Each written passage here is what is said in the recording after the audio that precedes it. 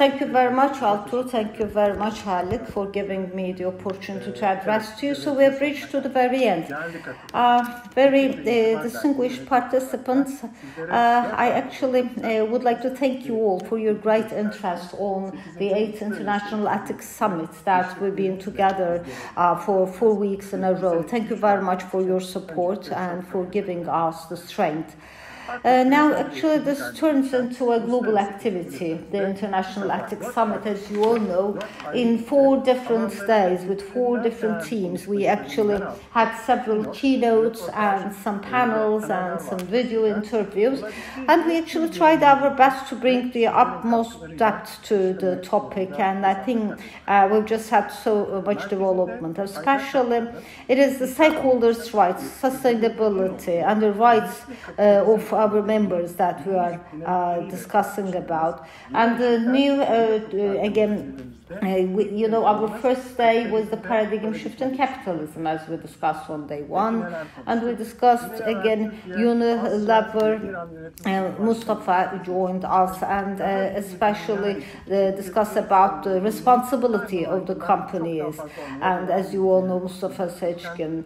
Uh, then uh, from Repman founder and the advisory board member Salim Kadıbeşegil joined us uh, with a video interview and discussed that uh, having actually uh, some uh, special goals other than profit is actually a source of reputation.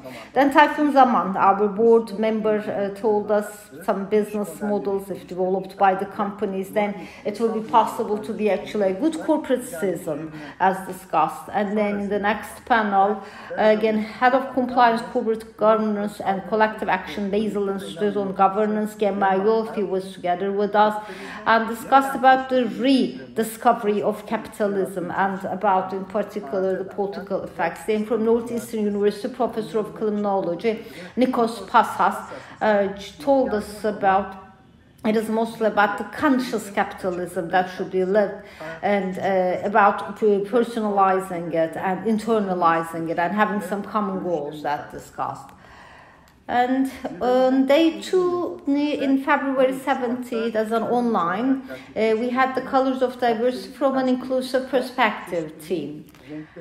And uh, our board members, attorney, uh, again, um, Meltem Adazar made the speech of the day and discussed about the committee in particular uh, discussions. Uh, although, the, uh, for example, companies are uh, very uh, comprehensive, especially it is very important to be much more, in particular, collaborative. Filiz Toprakis, an attorney and board member, discussed about the extraordinary days of the pandemics and what experiences we get out of it. And um, in particular touched upon this topic for uh, the uh, day two.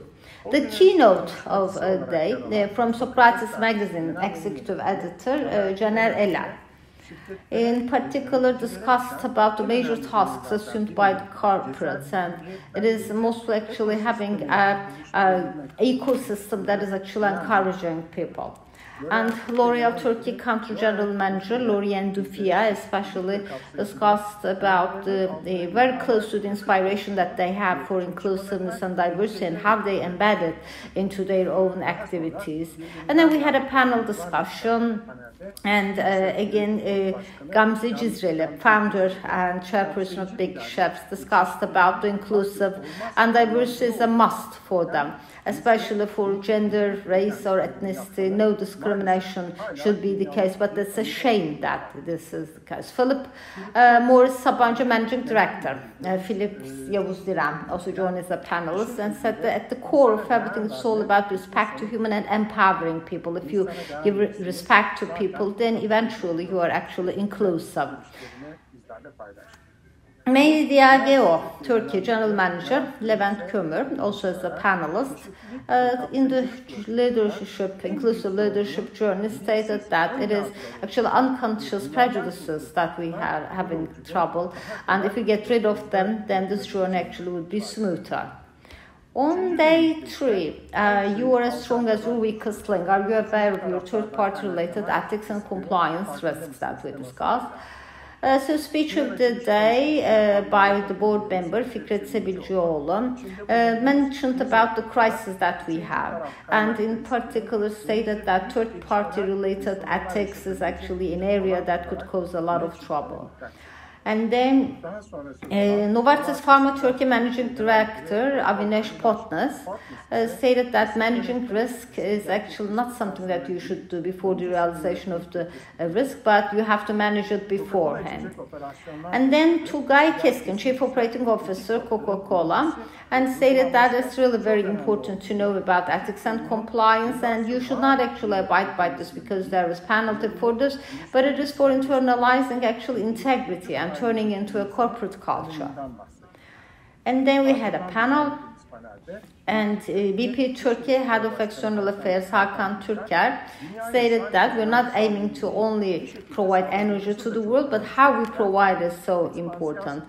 And then Fikret Baltoğlu, uh, Expansions Turkey General Manager, stated that uh, reputation is something that actually uh, you can actually gain for many years, but you can lose in a few minutes. So uh, for uh, sustainability, we pay attention to reputation. Then country leader 3M Turkey Turkey, Halil Kardıçalı uh, stated that with this actually at all levels, uh, it's very important for all our employees to have a voice, and we actually like talking ethics as a company in general. For today, day four, the last day, the team, as we listen to ethics by design and digital future. And uh, actually, uh, our uh, board member Altu Özgün moderated the recent panel uh, and uh, at the same time I had a video uh, uh, interview by the Artificial Intelligence and Technology Association Esen Tümer, Ozan and Ozan Law Office, Başak Ozan Özparlak, Cansu Canca Director Ethics Lab, and at the same time Ahumine Güran Connectivity Administrator Tofaş and Esra Independent Digital Art Creator. Esen discussed about algorithm just like artificial intelligence and so are already in our lives and they're all operational and uh, in our lives. Başak Ozan Özparlak stated that especially uh, very important for collaboration. The people who pay attention to ethics will actually rise, and it's actually going to be another matter of human rights. John Sujan just stated that practical ethics and correct behaviors, and in particular, finding good answers to the solutions to the uh, questions is important. So it's very important to develop them ethically and therefore all these things are very important as discussed. For ethical uh, principles uh, at the same time offered uh, again some studies and uh, some uh, from their study. And uh, even for example people from different expertise specialists at the same time should focus on their own expertise and Altu Özgün, our board uh, member, stated that ethics is a multidisciplinary approach, and for ethical reflexes, we have to experience it every day, and it's something that we can do only by daily routine practice. And uh, stated that uh, so as to plan the digital, we actually have to understand the artificial intelligence. And then Ahumine Güran discussed about connectivity and the connected cars and how it actually touched upon the lives of the drivers. Touching uh, the daily lives is important, creating value and safety, especially for enhancing more safety, uh, discussed. And uh, also mentioned about, based on the data from the police station in the hotspots uh, for traffic, uh, for car accidents, mentioned about the notifications that they sent to the drivers. Why? Because uh, eventually it's all about protecting and saving lives. And Esra Özkan, from the side of the art and the ethics, actually, what can be passed from the past to the future. And especially mentioned about the human is actually at the focus, about digital art and algorithms that she discussed, and which which algorithm based on which data uh, actually the art uh, is uh, developed. And eventually also uh, they actually based on comparing the cause and the tool. And also machine learning, contribution of the machine learning at the same time should touch upon. That's very important to understand the past, to understand the, uh, to better uh, for the future. And it's very important to bring it to the moment and it's also possible to build the future. Uh, again, uh, global ethics principles, it's very important for it to be adopted by everyone uh, and uh, in Turkey. So our Ethics and Reputation Society at the same time uh, uh, completed the 8th Ethics Summit organized with the motto New Thresholds, New Horizons and uh, that's actually uh, create, we aim to create a platform experience for four days. Uh, we actually have very distinguished speakers all together. Of course thanks to you our audience. Uh, we observed uh, your attention and interest. So uh, I think we actually get very close to our actual goal in ethics and compliance. Of course we are just going through some challenging times and I would like to thank uh, to uh, 1957 PCO company, Halit Beyaz, uh, for uh, their uh, contribution and of course the entire team.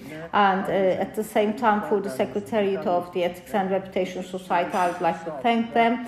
And at, at, the same time, would like to thank you, the audience that share your time with us as online on the digital platform. I'd like to thank you on my behalf and on behalf of our society.